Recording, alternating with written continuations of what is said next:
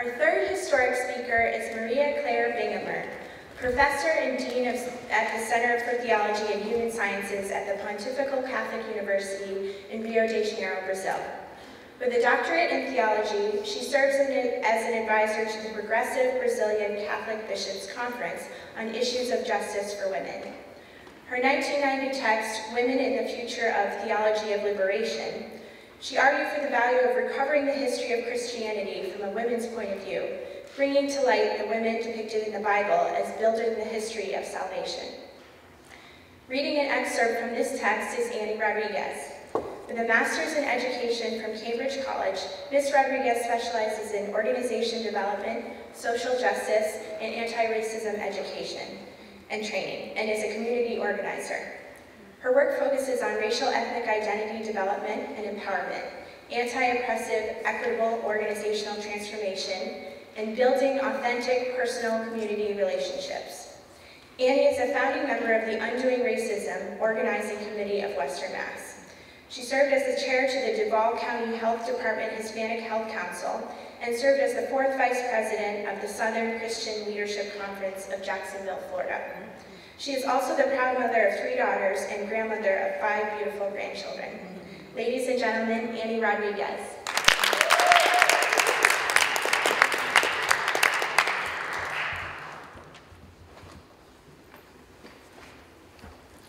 Women's entry into the domain of theology brings with it a new way, a new method of conceiving and expressing a 2,000-year-old theology. Their present eruption into the rational male theological world of the past is as disconcerting and new as that of the woman who, with her presence and her perfume in John's Gospel, invaded the meal taking place within the very strict social and ritual norms of Judaism.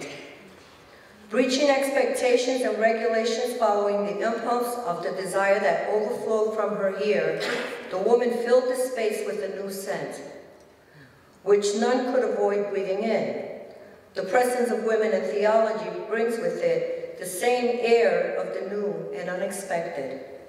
The present theological field is made up of this plurality of sense, sometimes apparently incompatible, and often in conflict. Women and the poor in Latin America rediscovered the Bible at the same time.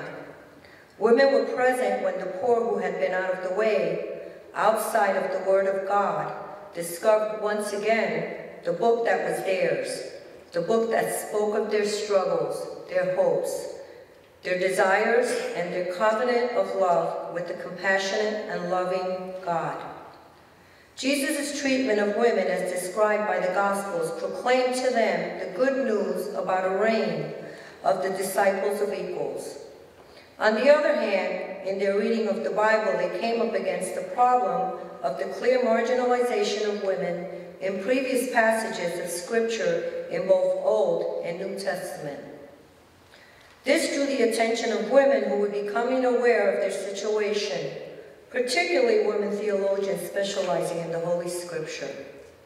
The word of this new biblical scholars revealed something new. There is, there is a difference between reading the Bible from the point of view of the poor and reading from a woman's point of view. Whereas a poor man may find himself affirmed and defended by the word of the living, God throughout the Holy Scriptures, the poor woman, in contrast, does, that know, does not know as a woman how to heal with the texts that seem to marginalize her and treat her as an inferior human being. The problem is all the greater in that the poor communities where the explosion of biblical re renewal is taking place are particularly marked by patriarchal and male supremacist ideologies. In this context, reading biblical texts that seem to reaffirm female segregation may help to confirm women still further in the oppression that crushes them, and this time with the very authority of the Word of God. Because of this, Latin American women biblical scholars are working particularly with women from poor communities for a deeper understanding of the nature of biblical texts. They present the text as the testimony of a people, Our faith community within the divine revelation is transmitted as a saving word that always supports the lowest and the oppressed people, including women. In addition, they are attempting to recover origins of Christianity from a women's perspective. In doing so, they bring to light and emphasize the women who appear as builders of the history of salvation. A traditional interpretation often forgets forgets them or relegates them to a secondary plan. Examples are the Egyptian midwives of Exodus 1, the subversive, Tamar, and Agar, who felt completely free to question Jewish law, and the whole legion of women in the Gospels and Acts of the Apostles who played an active part in the early stages of the church.